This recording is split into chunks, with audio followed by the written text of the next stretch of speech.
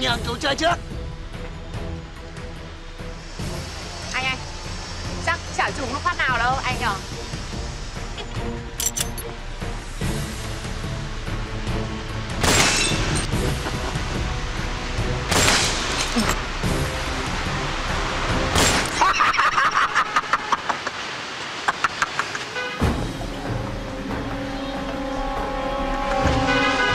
Lên đi ông già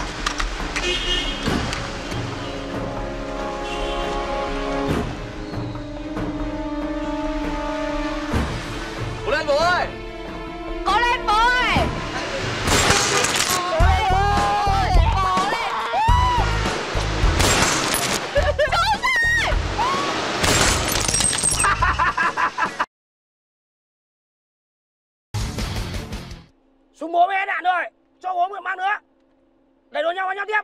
Không thì thôi Bỏ súng ra Vẫn nhau tiếp ạ. Mày là thằng nào.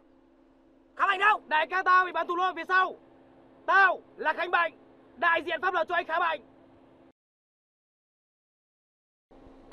Đại pháp luật là cái gì?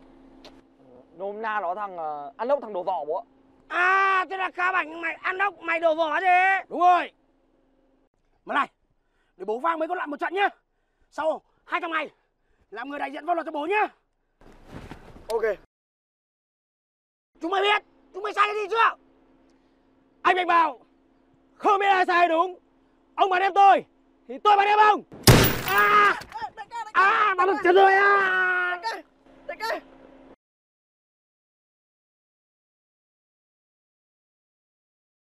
Anh ơi em xin anh cho em thư thư vài bữa. Mày thứ thứ bao giờ rồi? Hả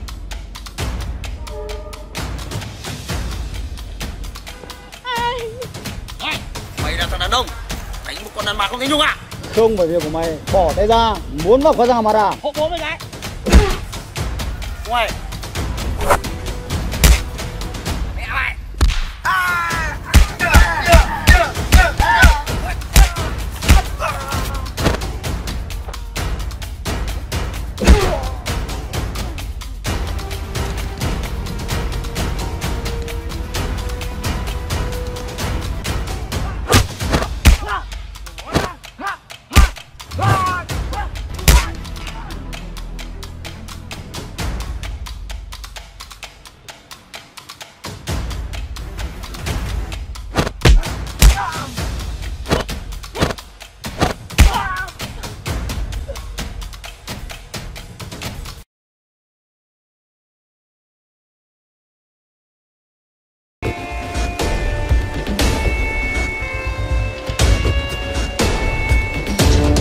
Rồi vào đây.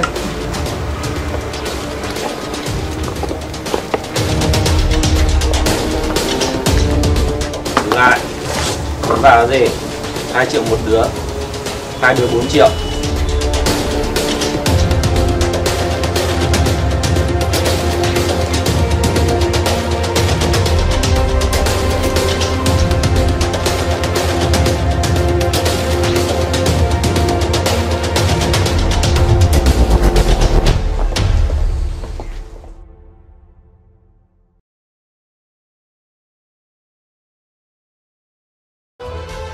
Thế mày có tin vào nhân quả không?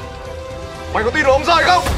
Lúc yên tao ra giang hồ, bao nhiêu năm, tớ từng lừa lọc ai dù một âm.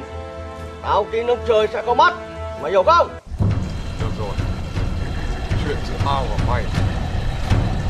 Để ông rời phán xét đi